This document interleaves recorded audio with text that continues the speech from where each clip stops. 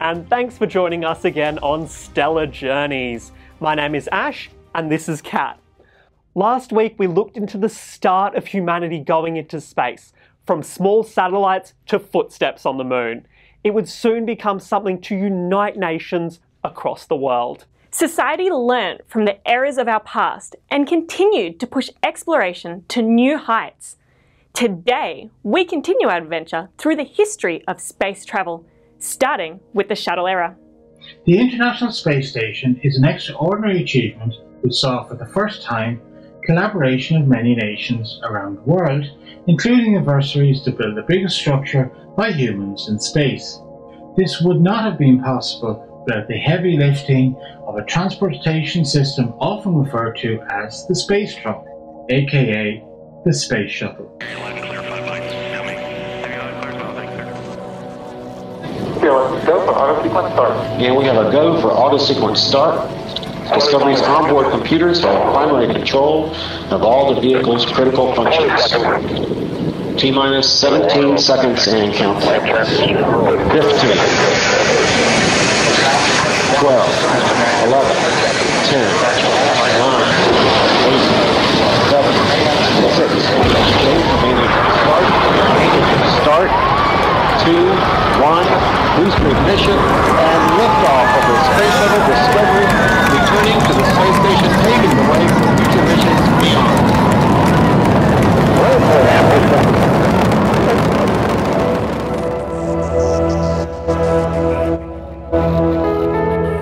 The Space Shuttle program was known as the fourth human spaceflight program carried out by NASA.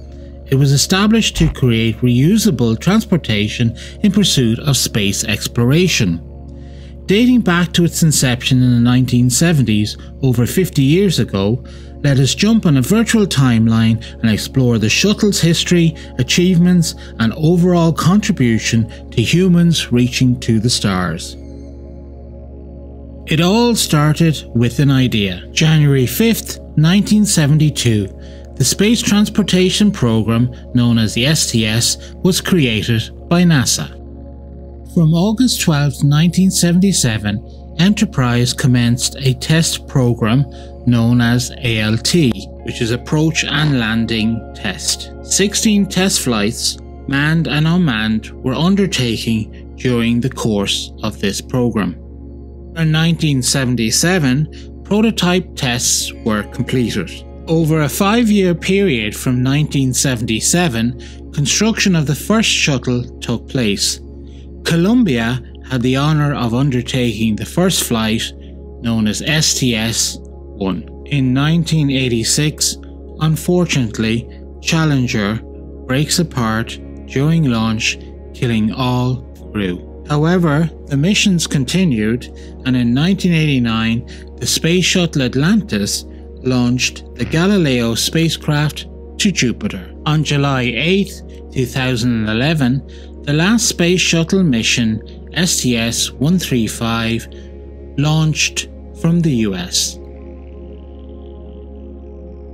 Throughout its years, the Space Shuttle contributed to the assembly of the International Space Station. Humanity now had a home away from home and is still in use today. The shuttle went through many designs, but it established itself as a reusable transportation system. The Space Shuttle era lasted 30 years.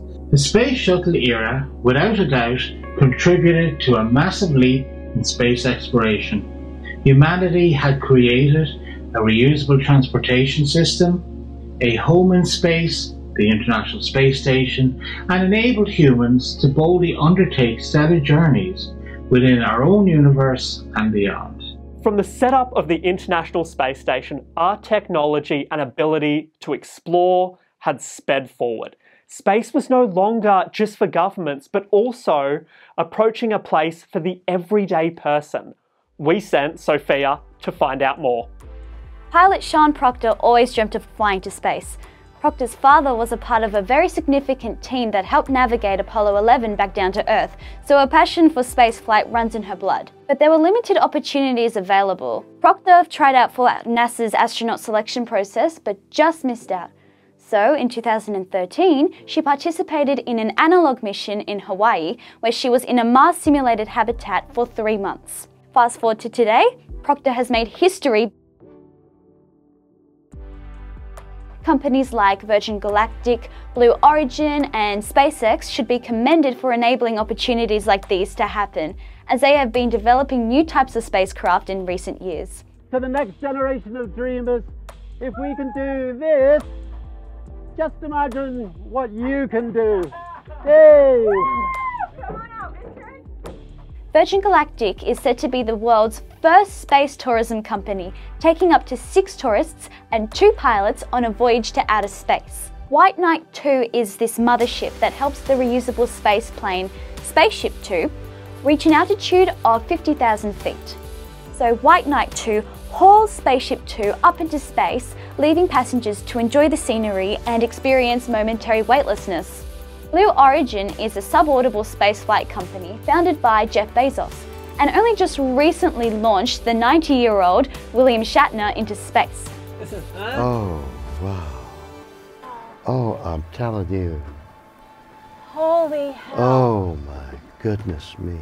In 2011, the company launched a test vehicle, New Shepard, 548 feet up into the air.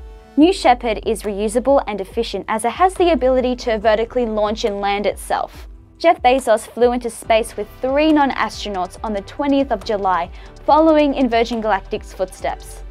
SpaceX was founded in 2002 by Elon Musk with hopes of reducing the cost of space transportation so that we could focus on colonizing Mars in the most efficient way. In 2010, SpaceX made history, sending the first space vehicle, Dragon, out into orbit. In 2012, the company used a Falcon 9 rocket and Dragon spacecraft to deliver cargo on board the International Space Station. As of today, Dragon has gone to the International Space Station over 20 times, delivering supplies to the astronauts on board. And since this time, a new version of Dragon has been developed, making it now accessible for space crew to travel in.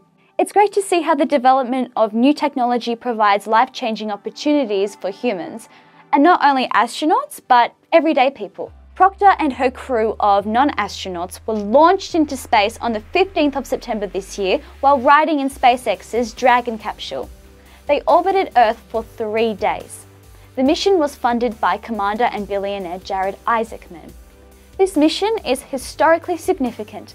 It reached a number of milestones. These include having an all non astronaut crew fly out into space for longer than a few minutes or longer than an hour having three Dragon capsules up in orbit at once. No matter your age, race, or gender, we are all capable of achieving incredible things. It's incredible to think that people like you and I could be shortly going into space. Do you think you'd go?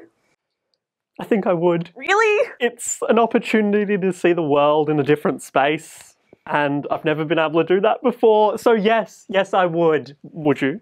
It's so high up. I don't I don't like heights. I don't know. Maybe maybe we'll send you first and a few others, and you can test out the safety, and then maybe I'll think about going. I see how things are. Hmm, mm. All right, join us next time as we look into some of the unique challenges we must overcome as we journey to the stars. Thanks for joining See us. you next everyone. time. Bye.